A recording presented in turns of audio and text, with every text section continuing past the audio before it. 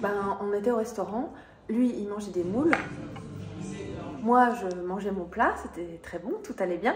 Au, au début, très très bien. On, nous a apporté les plats ensemble, euh, euh, c'était plutôt bon. Les moules étaient très bonnes en tout cas.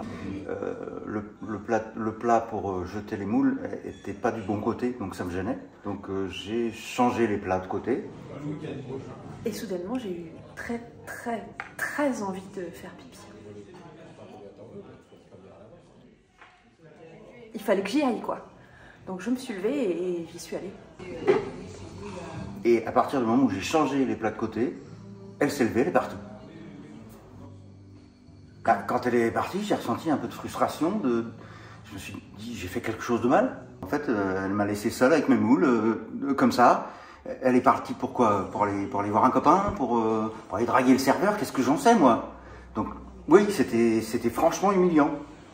Je suis retrouvé tout seul. Ça se fait pas. Ben, je suis arrivée à la table, euh, toute lirette, toute contente, j'avais fait mon affaire quoi. Et là je le vois qui tire une tronche de 10 pieds de long, et j'ai pas compris. Bah, quand elle est revenue s'asseoir à la table, euh, j'ai essayé de lui faire un petit signe sympa, de savoir euh, qu'est-ce qui s'est passé, tout ça.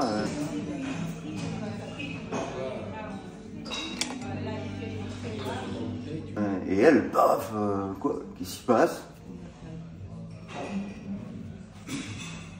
Alors je me suis dit, ok, il m'en veut. Il me regarde comme s'il allait exploser. Je me suis dit, mais tu me prends pour qui? J'ai le droit d'aller aux toilettes? Je suis une femme libre, forte, indépendante. J'ai le droit d'aller aux toilettes.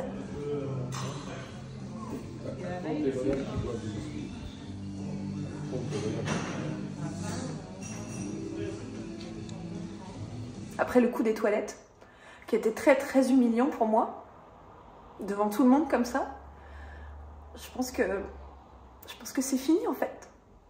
Non, je crois que ça tiendra pas. On peut pas. Tout ça pour des moules.